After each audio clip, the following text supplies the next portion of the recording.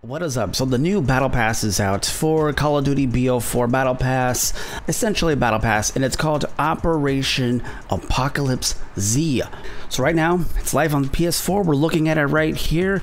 Operation Apocalypse Z Survivors ends in 47 days. But let's just scroll through this thing, and it's the usual, except right here. Reserve cases, supply packs, supply drops, loot crates, whatever you want to call them, they have been added back into the battle pass uh, more, more than likely as as a filler you know just to take up more space.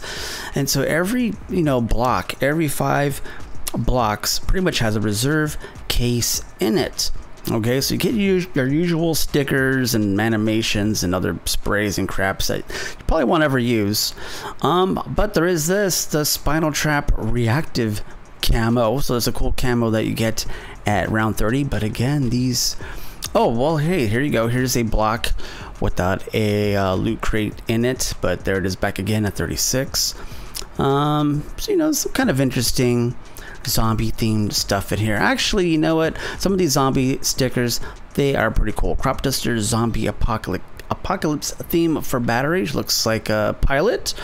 Really cool. And you notice that we're, it goes past 50 it actually goes to 60. And at 60, you get an ultra weapon bribe. So there is no weapon. So here's two things. One, these reserve cases have been added as filler to take up space, and there is no special weapon that you can earn via the contraband. Okay, you're gonna have to get the M16. The M16 is a new weapon. Actually, there's two new weapons.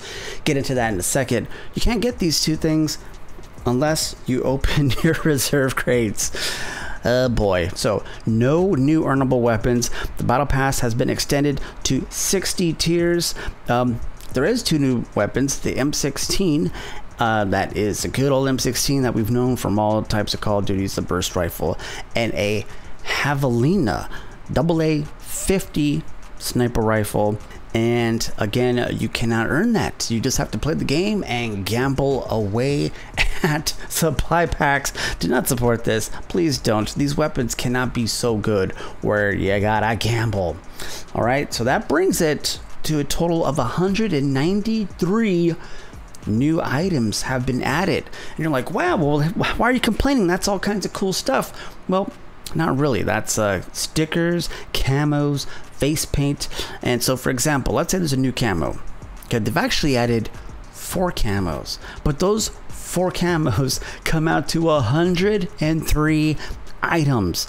Okay, so you have Paradise, uh, Arabesque, uh, Evergreen, and a Bubble Gunk. But there's 27 different versions of those camos uh, for each gun. Each gun gets its own version. Uh, yeah, so as I mean, you know, anyone could just you know, put this together. And this has been done to inflate the loot pool and to get you to play more. And if you don't want to play more to get these loot crates, well, then you gotta buy them. All right, but they did add some cool uh, stuff. So let's talk about multiplayer. They and they added this actually very cool mode. It's called Final Stand, and right now it's on PS4, PlayStation, PSN, and everyone else gets it a week later. But let's just go over some gameplay here. So it's two teams survivors versus zombies, and the survivors they have one life, but they can be revived, and reviving is actually pretty quick. So it's quicker than um, you know blackout, and the zombies have a limited pool of lives as they hunt down the survivors within the time limit. So the teams alternate each round. Uh, victory going to the first team to win four rounds. The survivors win the round by surviving until the time limit or by eliminating the zombie team. The zombies win by eliminating all survivors before the time limit. And you know, it's kind of your, your, your basic old infected, but with the twist now it's teams, now it's round based, and it's actually very fun. Uh, you know, depending on the map, some are going to cater to the survivors, some will be for the, the zombie people, and I think it's a lot less uh, frustrating than a normal uh, infected because you get to switch every round and it's you know round based so you get uh, you know equal chances to be shooting and equal chances to be hunting and uh, i like it. So try it out. So continuing with the zombie theme they added a, another pretty cool mode and that is pandemic. So pandemic first on ps4 week later everyone else uh, it's limit, limited time mode where up to 80 people compete to survive the apocalypse or you get to join the zombies. And so that's the gameplay in the background. And so you kind of play it. It's interesting. So it's regular blackout, okay? But when you kill someone, they come back as a zombie. So you will always be spawn. You're gonna pretty much always be active in the game. I mean, there is some cooldown time, but then it turns into you know good old infected. Uh, but it's a big huge map and so that makes it very very uh, interesting. It can be difficult though if the uh, the survivors are out in the open and it's kind of hard to hit them with the two combat axes that you get. And once you spend them that's it. They don't regenerate. So that is the difference uh, from this mode from any other zombie modes so the zombie players, they do have super speed. They can jump higher. They can stay underwater longer because they're dead. They're zombies. They do not take any fall damage, so that's pretty cool. Uh, they can track survivors' footsteps and they see pulses of the enemy on the map. So oh, and they get the two combat axes, uh, Hell's Retriever. And so those pulses make it impossible for the survivors to hide in a bush or hide somewhere. You will always see them. So these zombies are super zombies and you do get a lot of abilities, but it really isn't uh, that easy. You really do have to uh, team up with some other zombies to take out the survivors. So that's Pandemic on Blackout, and it is very, very cool. If you normally hate uh, BR modes, definitely try this one because you know, even if you die, you still get to be a zombie.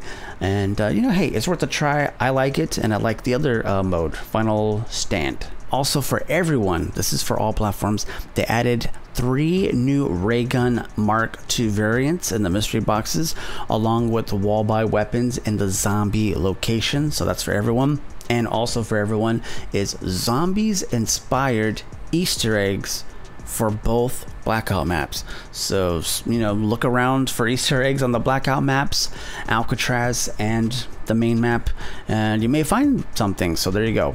Moving on to the updates, let's just continue with multiplayer. I have a link to all this stuff down below. So the S6 Stingray operator mod has been updated, reduced to hit kill range from 32 meters to 22, slightly reduced explosive damage, and they slowed down the fire rate. Argus significantly increased damage. So you guys know I got this uh, yesterday or earlier today in today's video, and I did play with it yesterday. It was complete garbage, and I play with it today, and that's what you see in the background, and it is awesome. It's great. It doesn't have too crazy of a range. Um, but it's very good. I was actually able to get quite a few triples. I aimed high. I don't know if that made a, uh, that big of a difference, but you aim high, you get all your pellets, you make sure in range, and it is a fun weapon. I need to unlock the fast mag for it because it does take quite a bit to uh, load up. So yes, Argus, good. Try it. If you thought it sucked like I did when I first got it, try now. It's awesome. Okay, so the Locus, that is a sniper, significantly increased the damage. And for the ballistic knife, they fixed a crash that could occur when pack-a-punching the ballistic knife with dual wield and either clan tag or kill counter equipped and that's it really for like the major multiplayer updates that you're going to care about. Link to all the stuff down below because they did you know do some bug fixes some uh, crash fixes things like that. Link to everything down below. So what do you think about the new battle pass contraband pass what have you? What do you think about it? I think it's you know pretty obvious. I'm not going to be spending any money on it but I do enjoy the game, and so it's cool that they added all this stuff to extend game time, at least until, you know, the new Modern Warfare comes out. What do you think? Let me know down below. And on the screen, we have the epic moments. That's going to continue into Modern Warfare. And on the right, a brand new video.